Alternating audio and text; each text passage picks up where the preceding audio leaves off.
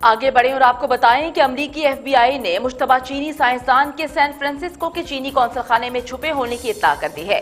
चीनी साइंसदान पर वीज़ा में फ्रॉड और फौज से रवाबित छुपाने का शुबा किया जा रहा है।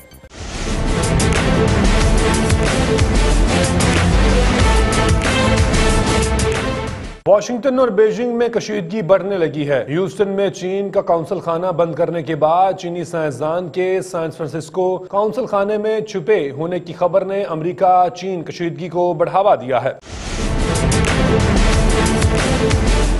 अमरीकी प्रोसिक्यूटर के मुताबिक कैलिफ़ोर्निया में बायोलॉजी की चीनी मुहक्क कार तिंग युआन ने एफ़ बी आई को इंटरव्यू में चीनी फौज से रवाबित के मुतालिक झूठ बोला। तहम जब तिंग युआन की चीनी फौजी वर्दी में तस्वीर और दीगर शवाहिद सामने आए तो तिंग युआन चीनी कौंसल खाने में रूपोश हो गई। अमरीकी एहलकारों ने कहा है कि यह मामला चीन के इस प्रोग्राम का हिस्सा है, जिसके तहत वो चीनी साइंसदानों को अमरीकी मालूम चोरी करने के लिए खुफिया तौर पर अमरीका भेजता है।